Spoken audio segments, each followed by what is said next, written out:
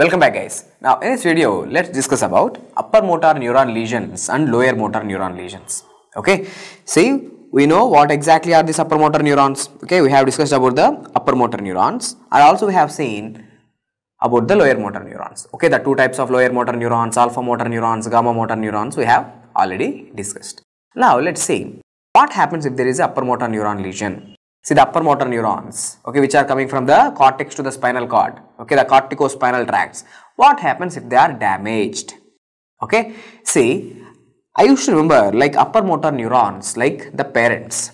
Usually, the upper motor neurons will control the lower motor neuron activity. Okay, the upper motor neurons will control the lower motor neurons. So it's just like a parental control. So parents will control their offspring or children's, right?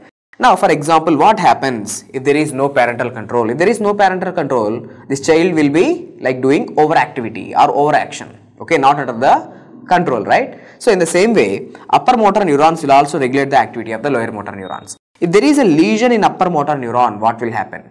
If there is a lesion in lower motor neuron, what will happen? We will see the differences. Usually see the upper motor neurons, what is the function? Upper motor neurons have the inhibitory effect on muscle stretch reflex.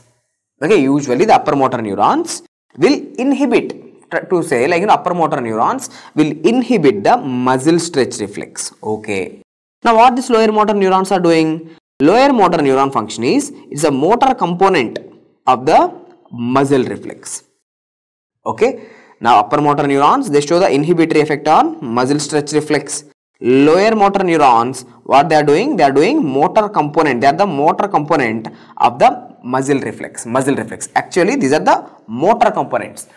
See how to understand it. The lower motor neurons are the motor output from the spinal cord. The alpha motor neurons, okay, the alpha motor neurons, they will come and they will go to the muscle and they will cause contraction of the muscle. That's why motor component of the muscle reflex. Later we will discuss about the muscle reflexes, muscle stretch reflex, inverse stretch reflex. There you will understand. But here the lower motor neurons, what is the function of lower motor neurons? Simple, the function. I am not talking about the lesion. The lower motor neuron function is, the lower motor neurons will cause the muscle contraction. That's why motor component.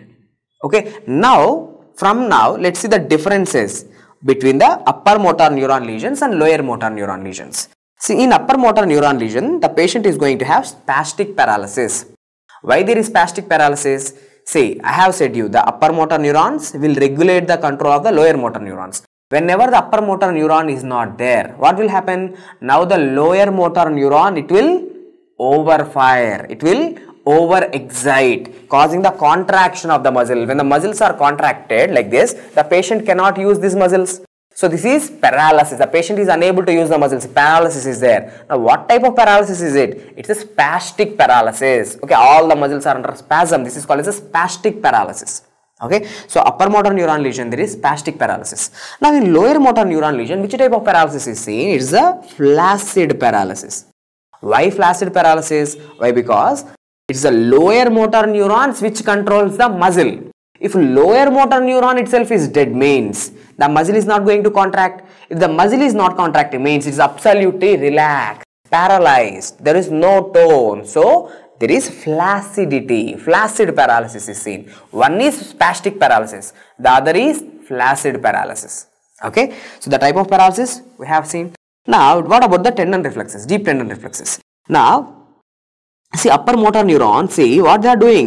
They are inhibitory on the reflexes. Okay they are inhibitory on the reflexes. Now whenever the upper motor neurons are damaged what happens? There is hyperreflexia. Okay there is hyperreflexia. Okay now what happened to the lower motor neuron lesion? See lower motor neurons yes lower motor neurons are the one which actually causes the muscle contraction okay? So they are the motor component they are the motor component of the muscle reflex. Now when the lower motor neurons are damaged means see this motor component in the muscle reflex is gone so there will be hyporeflexia. Okay? In upper motor neuron lesion there is a hyperreflexia because upper motor neurons are inhibitory to the reflexes. Whenever the inhibitory is lost what happens? There will be hyperreflexia. And lower motor neurons they are actually helping in the reflex they are helping in the reflex they are the efferents. Okay? They are the motor component Uh, whenever it is damaged automatically there will be hyporeflexia Okay. Now what else are the differences, sir? If you look at the muscle tone, okay, muscle tone, upper motor neurons are damaged, lower motor neurons are overexciting. These lower motor neurons, what they will do? They will cause spasticity. Now, if you look at a muscle, there will be hypertonia is there inside the muscle. Okay, lot of tone is there. Absolutely, the muscles are contracting.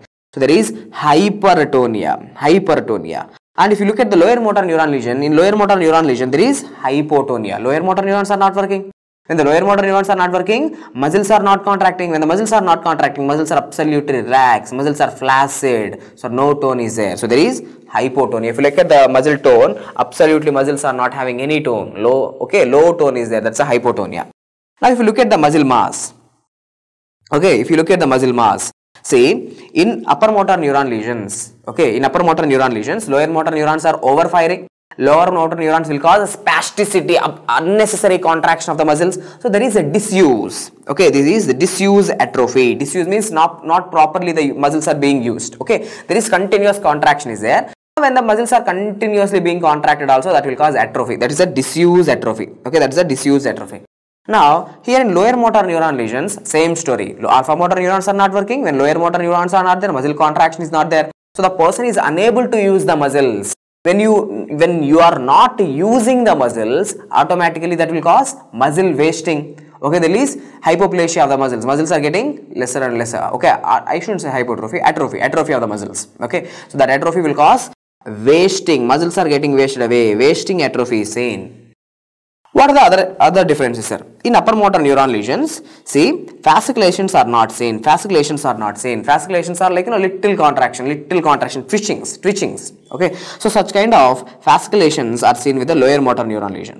Okay. Lower motor neuron lesions, uh, because of this, like, you know, lower motor neurons are unnecessarily firing. Okay. This, that, that will cause, that will cause fasciculations. Okay. That will cause fasciculations. And what about the Babinski sign? Okay. What about the Babinski sign? See, normally, look at here See, this is your foot. Now, with a sharp object, whenever I try to rub like this, okay, actually, whenever, see, this is something normal. Whenever I try to rub like this, okay, do like this. So, what will happen? Usually, the fingers will flex like this. Okay, usually the fingers will flex. This is something normal. Okay, if everything is normal, upper motor neurons intact, lower motor neurons intact, so there will be flexion like this.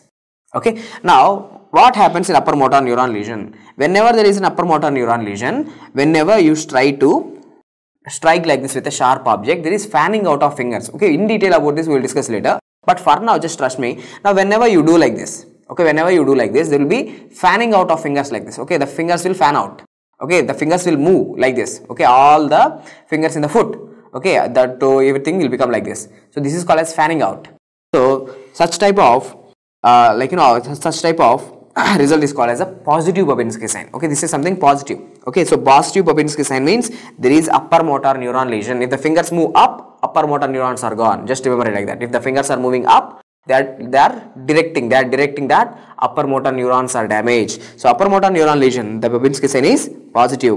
In lower motor neuron lesion, the Babinski sign is not positive. Okay, so no, no Babinski sign is seen. So in this video, we have majorly seen what are the differences between upper motor neuron lesions and lower motor neuron lesions. Hope the video is helpful. Thank you.